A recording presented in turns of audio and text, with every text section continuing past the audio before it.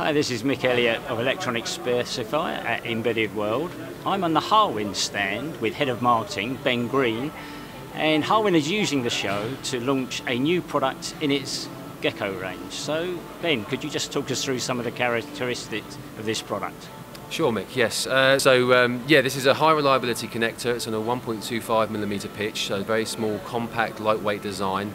Uh, it's ideal for small satellites, avionics systems, any sort of mission critical application where the customer is looking to reduce or to improve rather their size, weight, and performance ratio of their product system.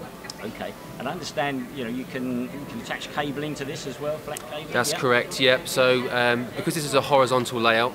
Um, if you're in a, a, small satellite application, for example, very, very densely stacked PCBs, you would benefit from bringing the cable in horizontally rather than vertically, and that would enable you to save vertical space in the system, so that's a big advantage to customers.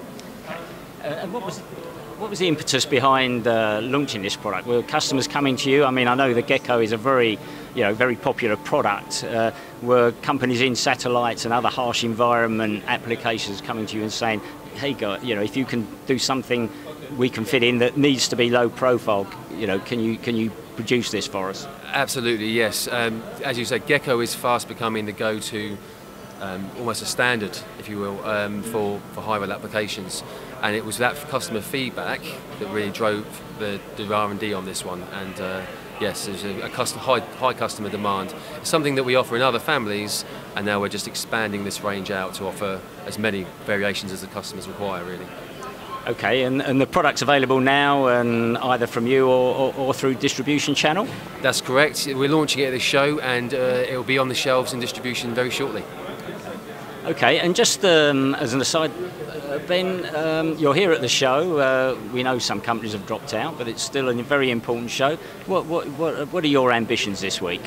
Well, in terms of embedded systems technology, this show does have it all. You can see the hardware, the software, the comp component level guys, all in one place. So, from an engineer's point of view, we think it's one of the best shows to attend. Uh, we're really looking to meet those engineers that are looking to improve the, um, the reliability of their system. So the, as I mentioned before, the size, weight and performance, but the security of data is becoming so significant now, uh, so many mission critical applications arising, that those are the engineers that we really want to meet and you know, give them the advantage of, of, a, of our high reliability connectors. Okay, Ben Green, thank you very much. Thanks, Mick.